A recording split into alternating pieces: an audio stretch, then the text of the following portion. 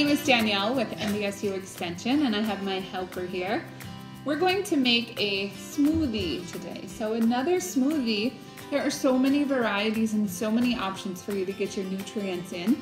You can drink it, you can freeze it, you can make it into popsicles. So smoothies are very, very, very versatile. So thanks for joining us. Today we're gonna try one with non-fat dry milk.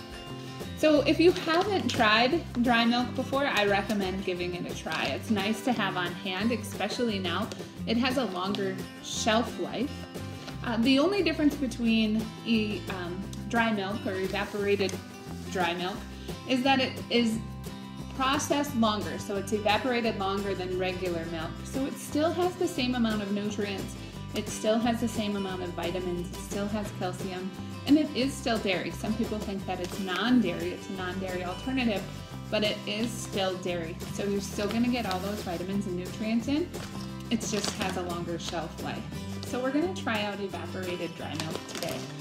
The other thing that we're using, and I'll have my helper start dropping things in, is one cup of ice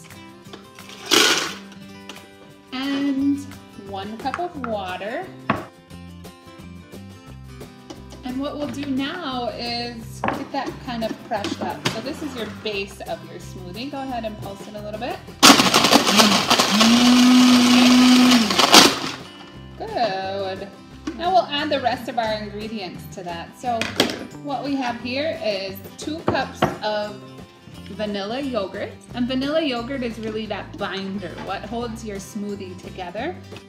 And then our milk the dry milk. So because we're using peaches today, I'm gonna use nutmeg for my seasoning. But not very much nutmeg.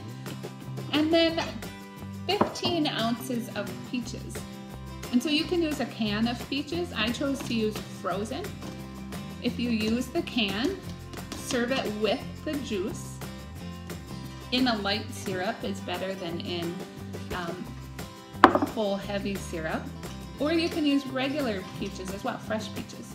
So either way, I got to about 16 ounces of peaches. Mine are still frozen, so they'll blend a little bit longer. But again, blend it as long as you like to your consistency. So give that a try.